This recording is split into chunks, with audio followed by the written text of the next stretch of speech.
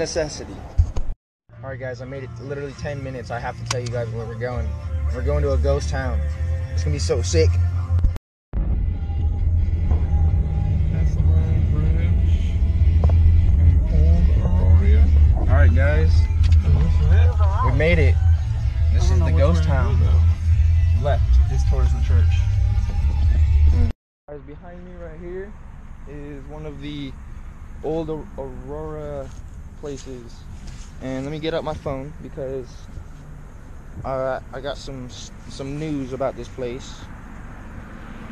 Now, this place was apparently knocked down back in the Civil War.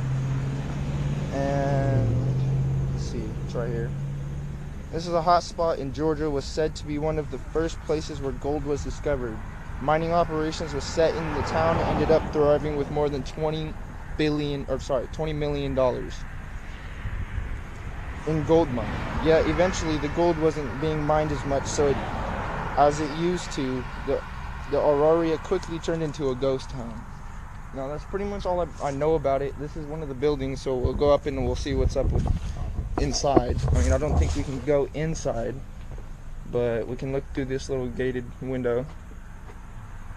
Let me turn on this flashlight. It doesn't actually help at all. But as you guys can see, there's a lot of uh, old stuff in here, old bottles.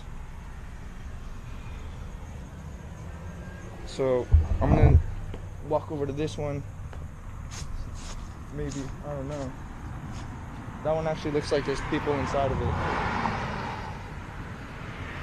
I'm not gonna go over that one. It looks like uh, people are actually there, but this place looks like it's locked down. Look at this old Coca-Cola dispenser, guys. Wow, that's from the dinosaur age. You think so? It's plugged in, Oh, it is. I think. If there's actually any, uh, Coca-Cola inside of it. I don't think so. hopefully you know that.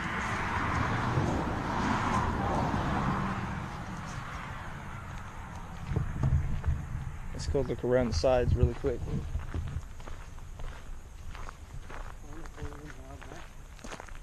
Eh. If we aren't, they'll tell us to leave. We'll just say we're sorry.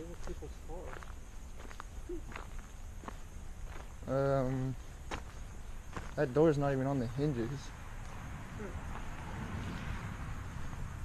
Some skizzers. Wow, old VHS tapes. I haven't seen those for a while. Oh yeah, see, look, that door is open. Uh, I kind of want to go talk to him, see what's up about this place. I'm kind of tempted to knock on the door.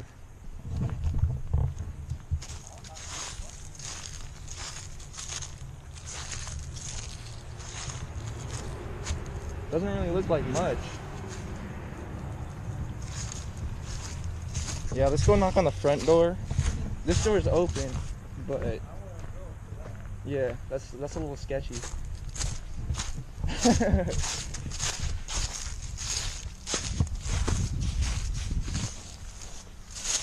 oh my god, it is freaking cold out here.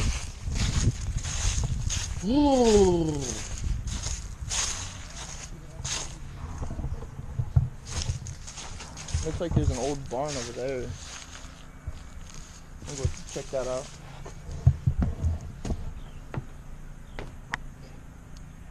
I, I'm not sure if somebody lives here.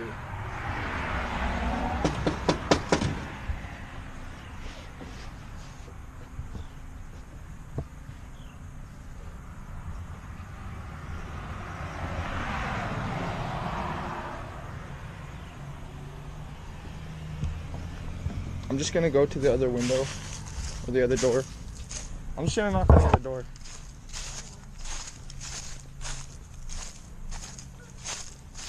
It'll be okay. I got the camera rolling. I ain't gonna die.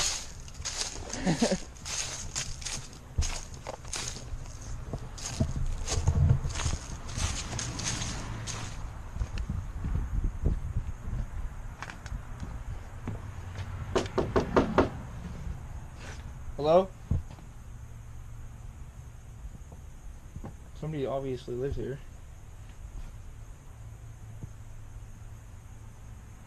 Hello?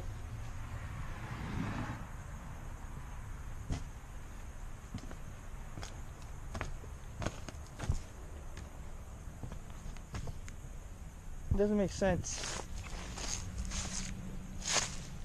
I want to get inside of here.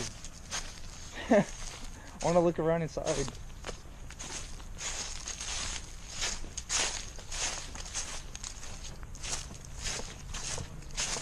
I have no idea. I don't know why that door's open.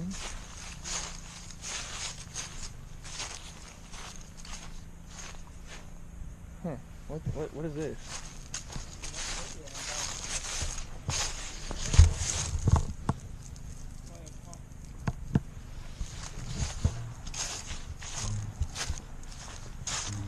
Ah.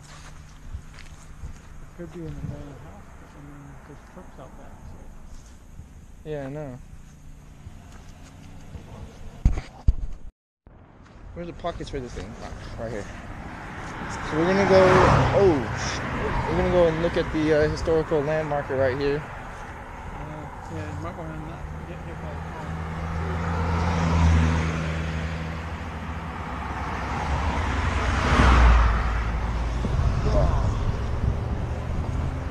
Look both ways before crossing, kids.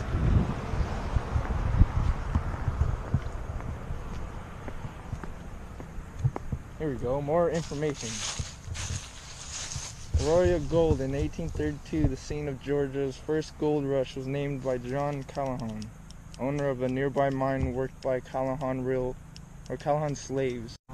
Dahlonega were the two real gold towns in the U.S. before 1849. Between 1829 and 1839, about 20, thou- $20 million of gold was mined in Georgia's Cherokee country from Os- Os- Auraria. In 1858, the Russell boys, led by Green Russell, went west and established another Auraria near the mouth of Cherry Creek that later became Denver, Colorado. Cherry Creek was Cherry, Cherry Creek that later became yeah. Green Russell uncovered a fabulous lode called Russell Gulch near which was built Central City, richest square mile on earth. I don't know. I don't know. This doesn't really give us any information about anything. Nope. Hmm. I guess we can go in the Monica. Yeah. Let's go check out this barn real quick. That's somebody's property. That belongs to that house. Possibly. Woo, that car scared me. Huh? That car scared me. Yeah, you can't just walk over there, dude. That's their property. Damn. Take a good look at it from here then. I Guess what do we do now? Ah, I guess go into Monica. To- And now go to the road. Dahlonega. What's in Dahlonega? That's where all the mines and stuff are. Ooh, mines. So, this place was actually pretty cool. It was pretty neat inside of that building. I don't know how much you guys could see. Um, the flashlight wasn't entirely that bright to be able to see inside, but there should have been enough light for you guys to see at least a little bit of it. And nobody answered that door. And the, the door was open, and I knocked on the front and the back and said hello. You get you guys heard. So, I mean, like nobody came. So I don't, I don't know what's going on there.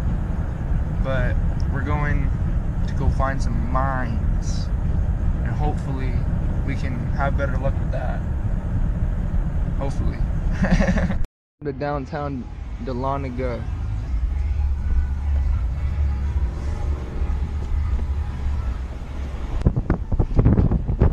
The scenery here is just beautiful, bro. I love these places. Turn left on Choice Avenue, then turn left. Floppy ears on me. We need to uh, make a stop at Wendy's because food is also a necessity.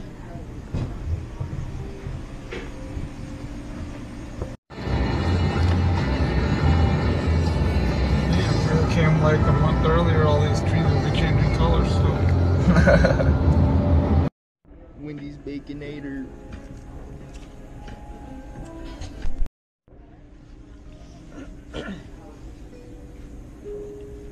Here we are, guys. Consolidated Gold Mines. Right now, we're gonna go pan for gold. And then in about 19 minutes is when we're gonna go get some rubies and emeralds and whatever else we can find.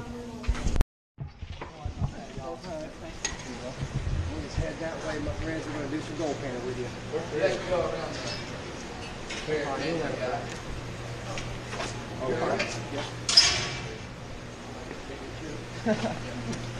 你去那个。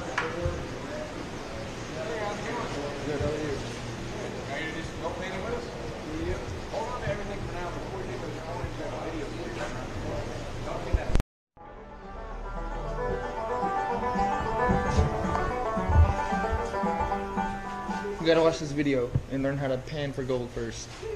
So. Ta-da! Take your gold pan with two hands, fill that gold pan completely full of water, then bring it right back up. Now once it's full of water, you want to take your gold pan and shake it from left to right, right to left. And as you're shaking, What that you'll does is gold is a heavier. line that we've drawn around the that pan. puts all of the gold that near the is bottom. What you want to do is while you're shaking your gold pan, gently tilt that gold pan a little bit away from you and work that sand up to that red line, but not past it. You do not want to lose any sand while you're above the water. Now after about five or six shakes, shaking to that red line, you want to stop shaking. And with both hands, gently take that gold pan and push it straight down in the water and straight back up. And you'll see a little bit of sand leave the gold pan.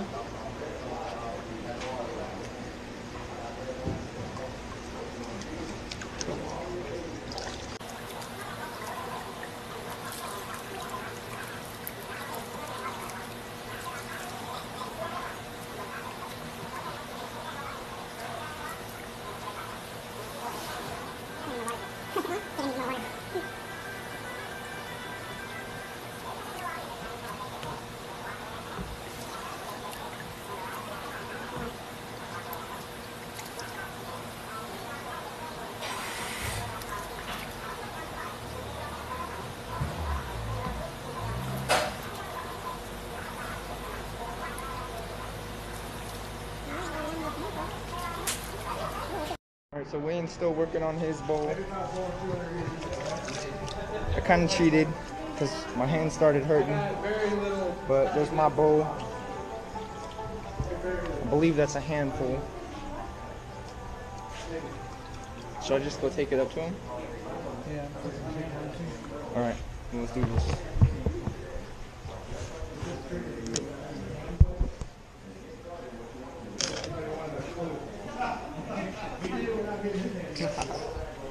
I think so. My hand started cracking up. Oh yeah. Mine was kind of bad, but he gave me this little piece of gold. He's got his gold. Happy man. We're rich. All right, guys. So in about four minutes, we are on the purple tour to go find rubies and are there emeralds? We're taking a tour of the mine first. Yeah, and a tour of the mine. So yeah.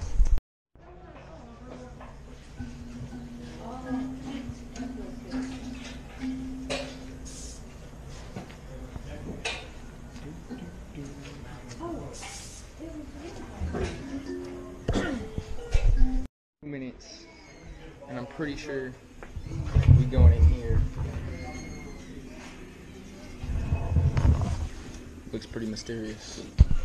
All of them, grab a seat on one of those chairs and we'll get started.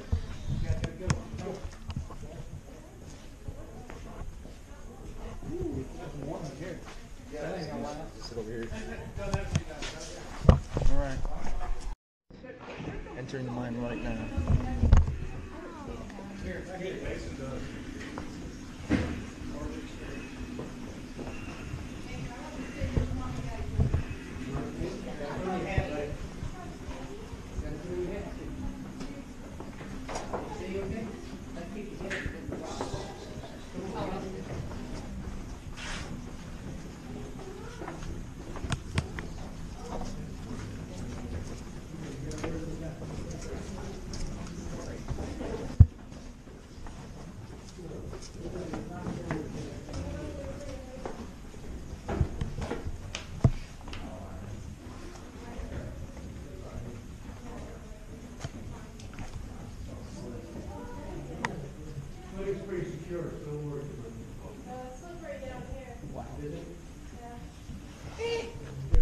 I mentioned the video it's 20 some odd feet across. That's where it was. To kind of put in perspective, you can see what we're talking about. At one point in history, there was a big hunk of white rock. Started about where I'm standing and run over to that dead end where those holes are on the top and bottom of that back wall. Went from the wall in front of me to the wall behind me, and from the rock that connects the walls all the way down to what is now the ground. This whole big open area is one big seam of white rock that happened to have gold in it. Had a lot of gold in it. As a good average, good rule of thumb, if you process out 2,000 pounds of that kind of rock and check it for gold, if you're lucky, there's even gold there for you to find, and you make no mistakes in the mining process, you might walk away with half an ounce of gold per ton of rock you go through. Give you a visual, that little plastic tube we put your gold in today, that's a one ounce tube. Process out 2,000 pounds of rock, you might fill it up halfway. Maybe. Okay, back in the day, mining this particular vein, they carted out over 54 pounds of gold in 12 hours with hand tools and dynamite. No way, no how that many tons of rock in that short a period of time. It's not possible. Goes to show you how much gold was in a relatively small space, while at the same time being the biggest hunk of it mankind's ever found.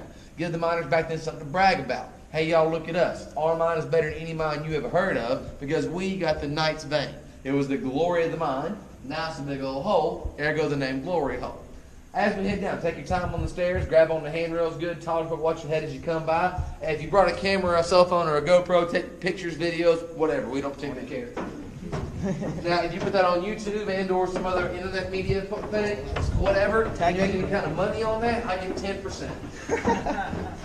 it's in your credit card receipt. You think I'm kidding, look it up. You can make your checks out to mine or JD. They know who I am tonight. This man's got jokes. What's down there? Where we come up. Oh. All right. Sure.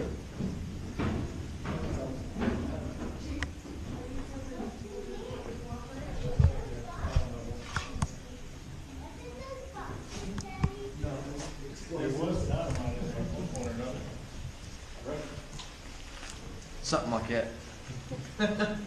so that white stuff in that wall over there, it's a really good example of a gold-bearing vein of a white quartz rock. Case you've never seen it before, it's what it looks like. Just the white stuff you see exposed right now contains somewhere in the neighborhood, right around, give or take, $300,000 worth of gold. Which basically screams the question, if there's $300,000 of gold in the wall, and we own the wall, and we call ourselves gold miners, why is it in the wall? Why are we not mine that out? Couldn't we use an extra 300000 Y'all see what I'm wearing today, right? You figure I could use 300000 Reason we don't touch it is because the kind of gold is there.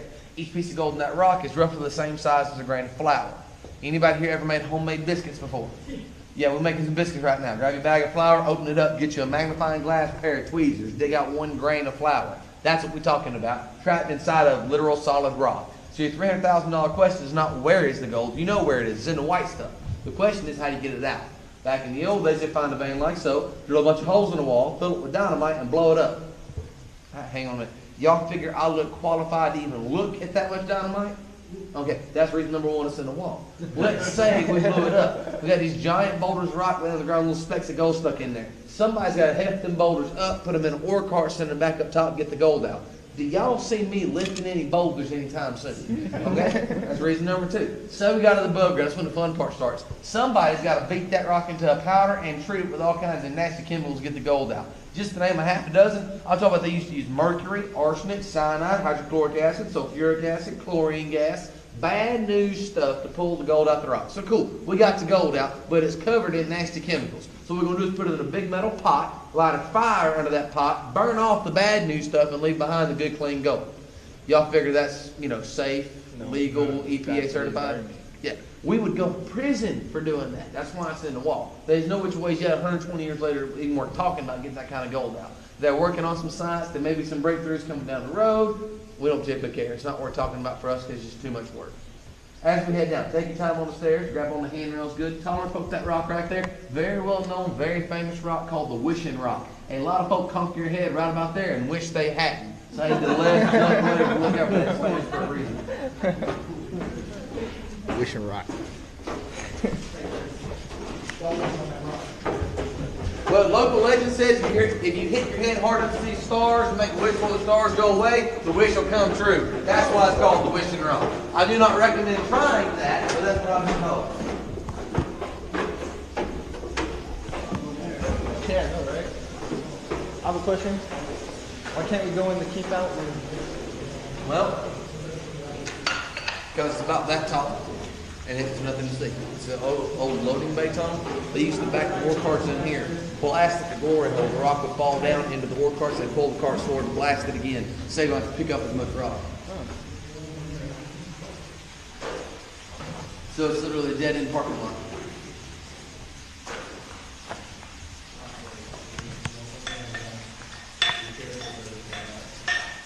Alright, now last one, Bob, y'all, I know there's no which way you keep talking about. You gotta where you can see this tapping this rock wall. If you can't see through me, you're welcome to scoot down some. We're gonna be looking right here.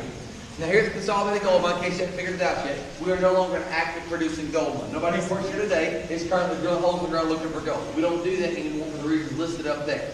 However, left behind in the old days, we have two things. Number one, the tunnels miners made back in the old days, and two, the tools they used to make those tunnels. This right here is the more important tools we have. It goes on one of two names. Some folks call it a hand steel, some folks call it a star bit. Depends on who you talk to. I call it a hand steel because the miners called it that, use it with their hands, and it's made out of guess what? There you go. Look on the business, if a lowercase t or a plus sign or a four-pointed star, well, it's called a star bit. The name is not super important, but the history is. Every miner from the 1840s, this is up into the late 1980s, so 140 year window, every miner in the country at some point in their career used this style of drill bit or a bigger version thereof. Remember that big bang we just talked about? We're going to grab it, cut it, and paste it, put it right here. We're going to pretend I just developed a brand new, totally safe way to extract flour gold out of quartz. No nasty chemicals involved. You still need holes in the wall and dynamite. Put that one with the hole in the wall, grab you a hammer, looks like so, grab hold of the drill bit and hit it. Realistically, that's solid granite bedrock. I'm swinging at it one-handed with a two-pound hammer. What y'all figure I'm accomplishing? I ain't that big. That's why plus sign so important. No matter how strong you are or are not, when you grab it and hit it, physics says you're going to crush some of the rock inside that hole to a very fine dust. That dust has a tendency to build up in the teeth of that four-pointed star design. So this is the hole wall. This is the drill bit. Hit it 8, 10, 12 times. You get some dust in there. Grab it and spin it. You're going to move that dust and powder around. So basically what you're doing is making your own sandpaper and then sanding a hole in granite bedrock. These guys will literally do this this with this much effort, this much energy for 12 hours a day. At the end of your 12 hour day, you get paid $1. Go home, get a good meal, a good night's sleep. Come the next day, do it again. Your average gold miner can get one hole in that wall about as deep as I am tall for 12 hour shift. I need 30 holes in that wall deep as I am tall for we see a liquid diamond. Once you got 30 holes in the wall, we're going to pack it all full of explosives, and blow it up at the same time.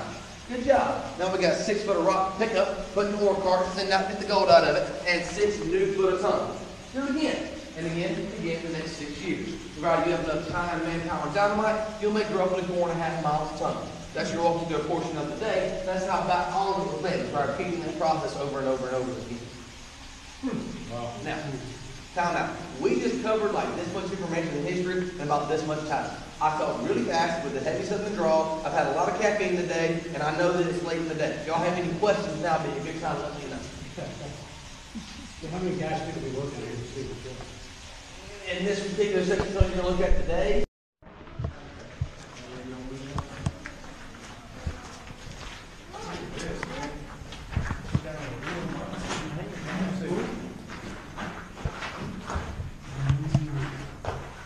Careful now. The Loch Ness Monster's cousin, his name is Chris. He lives down there. He may jump at you. Now, that is what we refer to as the deep tunnel or the connection shaft because it connects down to the lower levels of the mine to go further and deeper underground. Important question. I was kind of anticipating nobody asking back there. I just told y'all we made four and a half miles of tunnel back in the day, and then we were walking through a portion of that tunnel today. Open up the floor for questions. Nobody had any questions. Here's the question I would have been screaming. About how far are we fixing to walk? Like, the next four and a half miles of possible hiking terrain, if we gotta go two miles in, two miles out, three miles in, three miles out, what are we doing? Today, y'all gonna see about a quarter mile worth of tunnel in, quarter mile worth of tunnel out. That's it, for a bunch of reasons. Reason number one, I'm y'all's tour guide, and there is no way I'm hiking some nine miles round trip in forty-five minutes, talking this fast and breathing. Not gonna happen. Reason number two, that's the rest of the mine. You wanna go look at it, be my guest. You're gonna hit a problem in about fifty yards. Anybody see it? Water? Yeah, it's flat flooded full of water. To get down there, we're gonna need some scuba gear. Guess who is present today and is not scuba certified? Okay, so get down there by yourself, good luck. Now, back in the old days, it wasn't flat full of water. Back in the old days, we, we hired twelve-year-old kids running this pump here. Suck water uphill against gravity, push water through the pump, through a hose to a barrel. Have a hose going from that barrel to the next pump to the next barrel, and relay pump that water out twenty-four hours a day, six days a week. Then twelve-year-old kids made a nickel per twelve hours they worked. Here's the thing, we can't have twelve-year-old kids no more, it's illegal, thanks to this stupid thing called child labor laws. Y'all heard that? We tried that, we ended up having this big, big, long, nasty court fight with Georgia, we were in in and out of court, we had lawyers, it was gross. That's when we're not doing it now. Now, say somebody here was just a very nice charitable person, wanted to give us a big old electric pump and pay our power bill for the next year. Could we pump the water up and look at the rest of the mine? Sure, what's the point? You got four and a half miles tunnel with the exact same guys, the exact same tools, the exact same techniques over, four- over six years. There's nothing no different down there than what's up here. We're not missing them by not going down there. Only major difference is the presence of gold. We figured this company removed twenty percent of the gold in this mountain contained, meaning eighty percent of it is still down there. So they found fifty-four pounds of gold in twelve hours right up there, and eighty percent of the original total is still right down there, why are we not mining for gold this very second? I'm not qualified to use dynamite. That's reason number one. I'm not allowed to use mercury, arsenic, cyanide, bad news chemicals to get the gold out of the quartz anyway. It's illegal to hire twelve-year-old kids to run the pump. But number four, it's our location, it's where we're at. Right now, you're technically inside one gold mine, eighty-four feet beneath another gold mine. Did y'all know that? Yeah, biggest gold mine in the country right on top of you right now. It's called Walmart. Ever heard of them? All right, so let's give miner JD half a ton of dynamite, send him down in the gold mine. That ends exactly one way. Guess where Walmart's gonna end up? Down here. down here with us, which is cool. We have access to their vault, we have all the peanut butter and bread, we got all the camping equipment we need, we have a great time while they're digging us out. Problem, y'all got any friends, family, church family, people that like you, might dig you out of the gold mine? I'm not willing to bet on that, but let's say we had some, my mama come dig us out for sure. Guess where the only place to buy a shovel in this whole county is? Walmart. That's why we ain't doing it, so you wanna get a good look, go ahead, but then we're going this way.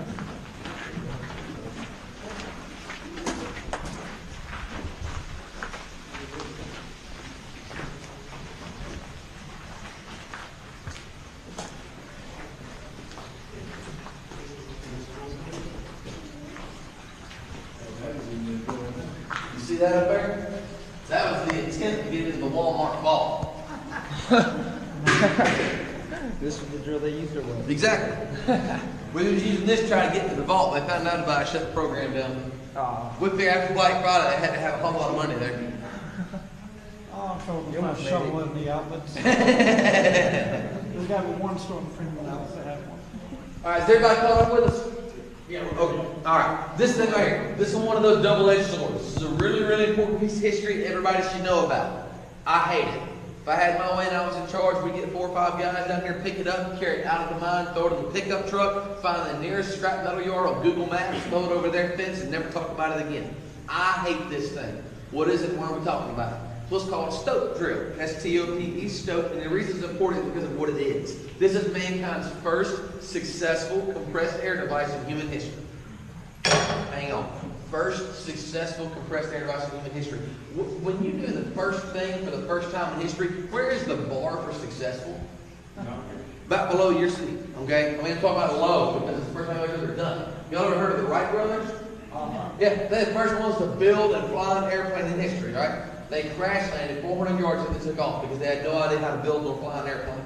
Same thing with the guys making compressed air tools. Like it's chock full major issue. When I say successful, it did something and didn't kill nobody. That's all we're talking about. Right off the rip, it weighs 142 pounds. Anybody want to pick it up and run it for 12 hours? Me. No. You're crazy. 100, for 100, for 140 pound machine for 12 hours? That's a long day. Now try to staff that position back in 1900. Your average gold miner might be five foot five. I'm five foot ten. Take five inches off me. We're about yay tall. He might weigh 130 pounds soaking wet. You want a 130 pound, five foot five guy to run a seven foot tall, 140 pound machine with compressed air pushing against him for 12 hours. The numbers don't add up, okay? Only way this thing got running is a two putter job back in 1900. Somebody's got to hold it steady. Another guy's going to squat down, throw this over the front of his shoulder, this on the back of his shoulder. He's going to squat press 140 pounds of dead weight in the ceiling, compressed air pushing against him, beating rock into a powder with a blunt object. Crazy hard job. Now, here's the fun thing. Y'all figure gravity still works down here? Uh-huh. So we've beaten rock into powder. That powder's gonna magically float up in the air nice and safe for us, right? Uh-huh. No, it's falling down where I'm trying to sit there and breathe this thing over my shoulder. Absolutely not good to it. Why are we talking about it? Because of what it did to you. Whenever you have a bad day work, a bad day at school, you come home from whatever your bad day was, and you slam the door to your house. Is your house falling apart? There's nails holding that house together, I'm betting. I'm also betting you got to build your house, use a Bradford Terrier to drive the nails into them boards, hold that house together. That's the the Bradford Terrier. Whenever you turn the sink on, wash your hands, reach in your waterworks. somebody paid the water bill this month, and last February, the water line froze and busted, somebody had a jackhammer come through to fix your water line. That's the grandpa of the jackhammer. Ninety percent of how we live our lives today in this country, I can tie to this too. It's a very important piece of history. It's not the easiest job we ever come up with. Now, for two fifty a day, you can start working this job. If you want two fifty a day, you just let me know how you start tomorrow at ten AM. That's illegal. It's not minimum wage. Well, have you ever been to the Dahlonega before? No. Th- That law is only what you get caught with. Ah. I see. Them Flint River kids worked here for two years before we got busted. Uncle Moonshiners. Hey, you know where I'm going with this. That's right, Wayne. I need to get me some more moonshiners. You guys can just walk through this. I think a lot of probably got some skills around here. Don't go off in the wrong section, the wrong way, you get shot at that. Oh, I know. Y'all head down there and grab a seat, I'll catch up with you.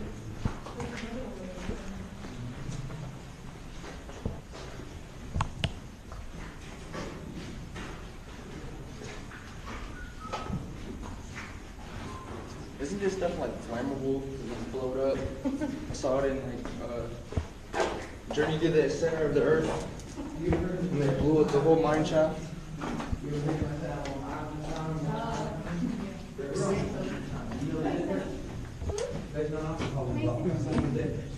Somebody's gonna hurt it, man. Alright, tell you what, let me swap spots with you. Oh. Okay. Tunnel. The Consolidated Gold Mine has one more thing makes them a big deal as far as history goes. Y'all can sit down if you want to. One thing makes them a big deal. They were the absolute first anything underground to get electric lighting. Think about the time frame here. They started this company in 1898, started drilling and blasting in 1900. In 1900, where was this country as far as electricity goes? Not even, right? We figured out to take a kite and tie a key to it, fight a thunderstorm, we struck by lightning. That's about it, okay? In 1900, Thomas Edison invented his light bulb about eight years before this mine opened, which means the electric light bulb has been invented. But it was invented in New York, New York. I want you to imagine you're in 1900 in New York City. You just bought one glass light bulb. I want you to get it to Dahlonega, Georgia. There ain't no railroads coming to Dahlonega. There ain't no cars and trucks to drive. You have to ride a horse down the Appalachian Mountain chain to Dahlonega, Georgia with a glass light bulb. Is your glass light bulb gonna survive that trek? No. Let's say you got it here. Are you gonna sell it for dirt cheap? Nope. Because you just brought it all that long way, you want a nice pretty penny for it. That's how it was. People in Dahlonega had basically never heard of electricity when this gold mine came to town. Now, when they came to town, the reason they had to have electric lighting, think about this. They're gonna dig this big old hole in the ground looking for this shiny yellow metal we call gold. They gonna need a whole lot of people to work here. We can either A, hire experienced miners from other mines and bring them to Dahlonega and have them work for us, which is gonna be expensive, or we can hire the locals. Who are your locals in nineteen hundred? Well, no, we, we had some white folk here. They had they had literally corn farmers, cattle farmers, and moonshiners. That's it for all of 1900 in Dahlonega. So when they got here, they said, well, let's just take a bunch of corn farmers, cattle farmers, and moonshiners, stick them in a hole in the ground, in the dark, with nitroglycerin dynamite and zero training. How long before somebody gets killed? Not long. That's when we had to build some lights, okay? So when they built lights here, they did, they got lights working, but They were still very primitive and very new, had a lot of issues. As their tunnels got longer and longer, their copper wires got longer and longer. And as they did, their bulbs kept getting dimmer and dimmer and dimmer because they were using DC power at this point. Didn't have- Second off, they're wired on a series circuit, means they're overgrown Christmas tree lights. If these are Christmas tree lights and I pop that bulb, how many lights still work? For four miles of tunnel, 20 stories below the ground with corn farmers, cattle farmers, moonshiners, and dynamite. Great. Anybody want to work there for a day? Oh, good. I do not have a time machine. I can't take you back and let you work there for a day. What I do have is a kill box. Turn the lights off in this tunnel. You want to see the dark miners had to work in? Look right here. You don't like the dark. Dark bothers you, dark scares you. You got two ideas. Idea one, close your eyes. You'll never know you're in the dark. I've done it for years. It works great. You have no idea the lights are off. Idea two, look at that way. The lights in the main tunnel stay on down there. I'm going to cut these off in three, two, one. Here we go. Cool. This is the work environment, y'all. This is not the take a nap, have a lunch break environment. This is the actually go to work environment. So I want you to pretend right now that you grab a hammer and start drilling a hole in the wall. Okay? You can't even see you drilled it. Imagine today is the day we're gonna blow some dynamite up. This wall back here has got holes drilled in it. Let's pretend that I'm gonna pack that wall with 200 pounds of nitroglycerin dynamite. Run a fuse out of each hole. Get the end of the fuses, zip tie them together, and light the fuse. By the time it starts sparking, new guy in 36 breaks the light bulb. We gotta get out. Okay? Anybody want that job? Good, good, good. We work higher in that position anyway. That's my brother's position. We're going this way. We don't, gonna pick out. We'll head back up top. All right. This thing right here is without a doubt the coolest thing anyone that saw that gold mine today, and the coolest thing I've seen in my entire life as far as mechanical engineering goes. This is what's called a drifter drill. D-R-I-F-T-E-R, drifter drill. It's basically the stope drill version 2.0. All the problems we have with the stope drill get fixed with this model. For example, do y'all figure I gotta pick that one up to use it? That's a great problem solver right there. Second off, it's pointing horizontal. I want you to imagine somebody's five inches shorter than me, and weighs a lot less than me, grabbing a stope drill, throwing over their shoulder, trying to keep it level, and then driving it into bedrock, compressed air, pushing against them. It's horizontal gonna work. That's what this takes care of that. All you gotta do is turn it on and screw the handle in. You can literally run it run it one hand. Very easy to operate. That'd be great. If all it did was what we just discussed, that'd be great. Not all it does. Loosen the nuts and bolts here. This thing will pivot like so and like so at the same time. So you can drift it on whatever angle you want to go to with it. You loosen nuts and bolts on the back, this thing will drop, it'll raise up, it'll spin around this center pole, goes literally anywhere you want on four planes. So let's say we're gonna rock it up, drill a hole straight up, and replace the stope drill all in one machine. Good idea. This one comes with the water valves. The air valve turns it on. Water valve lets water flow through the machine through the hollow drill bit into the hole you're drilling. So as you beat rock into a powder, dust is falling down, you're gonna inhale it, not spread with water. Water and dirt makes mud. Mud runs out of the wall, gets you in the machine nastified, but you can't breathe mud. It's a whole lot safer on your operator. Reason this particular one is so cool is because of its story. This was made in 1904, brought here in 04, and used in 1906. 1906, Consolidated goes bankrupt. They shut down. Last thing any mine does when they shut down is collapse their tunnels. If you leave your tunnels open, it won't be two weeks before your locals are looking for whatever you were mining for. They're stealing your tools, getting lost in your tunnels. They find dynamite, you forgot about blowing their hand off with it. You always collapse your tunnels. So they did. Caused a cave in about 65 yards that way. Everybody here that day walked out the mine where we're going to go today. Caused a cave in on that side of the mine and sealed this place off on both sides. Leaving a waterfall in the middle, pumping water in every second, every minute, every day with nowhere to go because of the cave. The whole place you got right now flooded from the floor to the ceiling and stayed that way for the next 85 years. Fast forward 85 years. Current property owner buys the property. Goes on that side of the property, the bobcat and a tow strap, wraps up a couple of rocks, starts pulling out the bobcat. Once he gets enough rocks out, the water starts draining out. He lets it drain for about three days. Comes back three days later with a flashlight and a pressure washer. Washes all the dirt and mud out, starts cleaning the mine up. Uncovers this thing, goes, hey, that's a pretty cool looking hunk of junk. we gonna pressure wash it. Washed all the dirt and mud off, said, oops.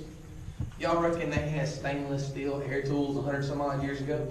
Which means that's not stainless, been underwater for 85 years and pressure washed. It's gonna rust like crazy. Him and three buddies hopped in a Ford Ranger, drove to Ace Hardware, and come back with a 55 gallon drum, slap full of the best chemical mankind's ever put into a 55 gallon drum. Are you familiar with the compound water displacer recipe 40? WD 40? Yeah, 55 gallon drum, him and four buddies went glug and dumped the whole thing on and left it alone for three days. Got figured, you know, there really ain't nothing wrong with it. No ripping, gaping holes, no missing parts, the nuts tightened down good, doohickey here's no loose. This thing jigger here's no loose. What you say we go back to Ace Hardware, buy some airline, a pocket knife, roll of duct tape, rig it back together, turn the valve on, what's gonna happen? Theory one, very unlikely, but technically possible. It could run. Theory two, it's 80 some odd years old, been in the water for 80 some odd years. We look at the compressed air, turn it on, it's gonna blow up on us. Either way, we get a cool story to tell. Let's do it. So they did. I'm serious. Literal duct tape in the airline. Put the thing back up, turned the valve on. It ran like a brand new tool. I've been underwater for 85 years. That was 30 some odd years ago, and it still works today as a 114 year old tool in 2018, which you don't see many of. So I'm gonna fire it up. Let y'all sit in here and run. Make a little bit of noise. You can cover your ears, you can, but it ain't gonna be that bad. I'm gonna fire it up in about three, two. You go with the camera, give me a thumbs up when you're ready. One, here we go.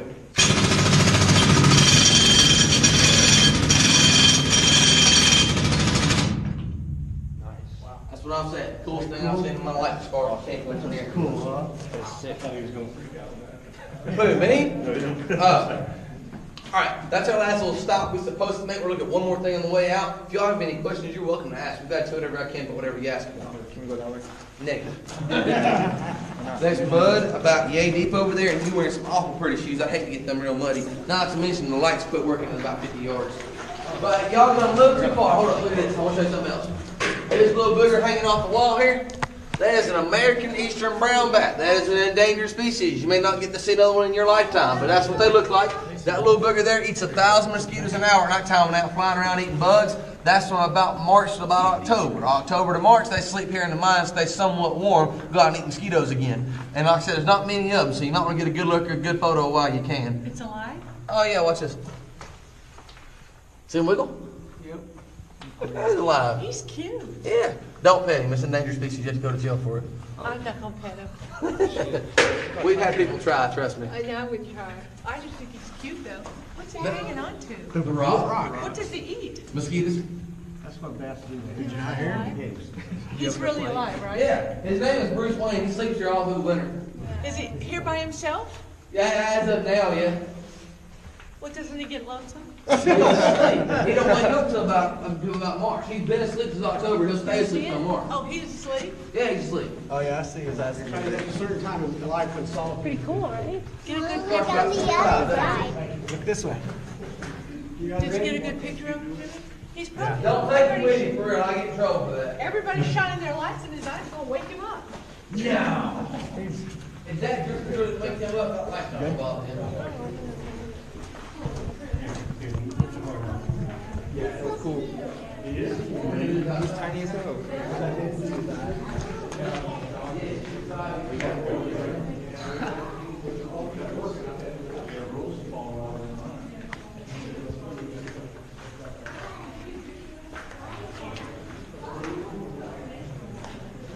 We've also got both cars. Him and a couple buddies. Other lines, there's like four hundred of them. Is this another, uh, I've been here almost six years. it looks like it's another air pump drill.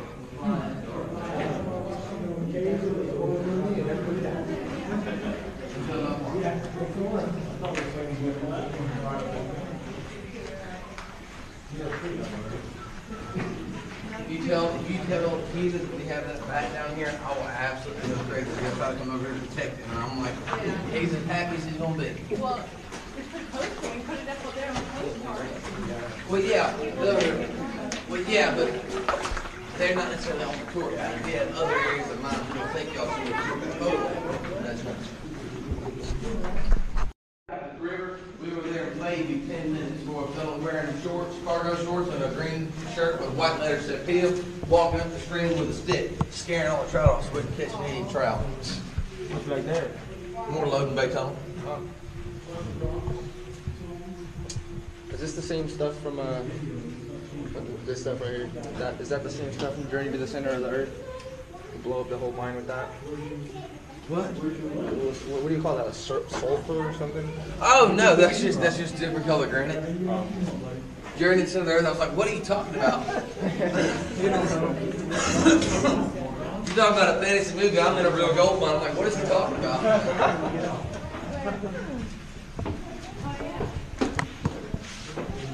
See this great people up. You can't see from where you're at. On.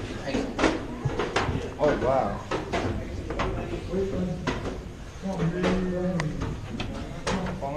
See this grate up here? Yeah, that was a loading bay. They'd blow the rock there and then fall where we're standing now and then fall to the side of the loading bay tunnel. That's all something down there is. Hmm. Sort of back door course, so the rock could be pushed into. Okay. We right now have all our electrical stuff there, like our emergency phone and stuff like that. It's nothing to see back there, I promise.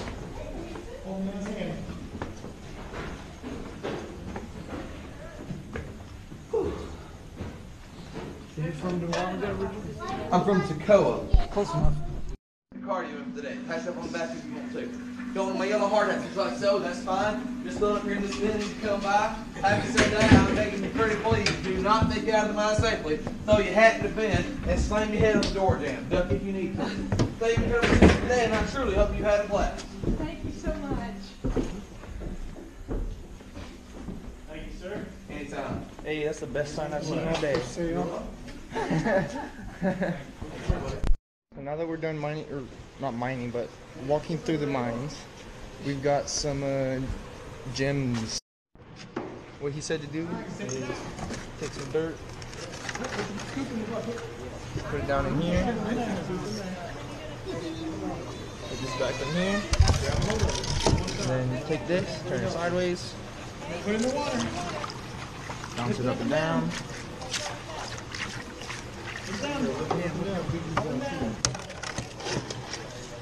Bounce it and down.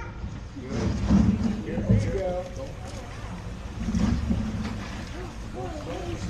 that's it.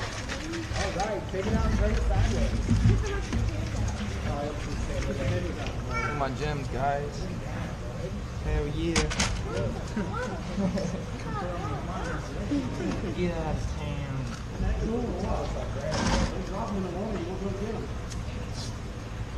All right, let's sift the rest of that. Get the rest of the sand out. Okay, well, I'm just gonna give you my hand. This is what you call sifting. All right, sand down. Get the rest of it.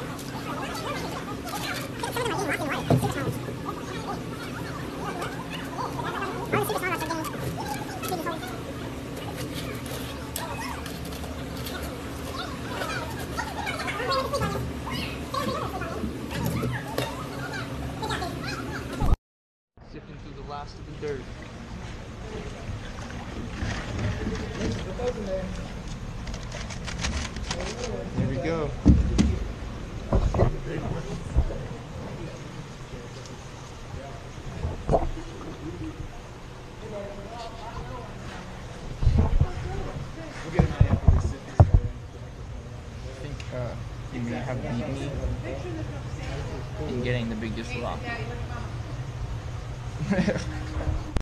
we got our rocks. Apparently, I have a really valuable, well, not valuable, but like precious gemstone in mine. He's got a whole shit ton of rocks. Oh my god. So we're gonna go see how much it's gonna cost to get these cut and go from there. Thank you guys for watching. Consolidated Gold Mines was actually really cool and I got some pretty nice rocks and I'm kind of happy I got that rare gemstone. So don't forget to like and subscribe. Leave a comment of your favorite part and if I should get which one of these rocks I should get cut. I have sapphire, I have crystals, I have uh, garnet, I believe it's what it's called. The garnet stone is the one that is a super valuable gem. And I got some sapphire and a bunch of other stuff. So drop that like, please. Hit that notification bell because it's about to get some real serious out here, guys. Real serious. Until then, cue that outro.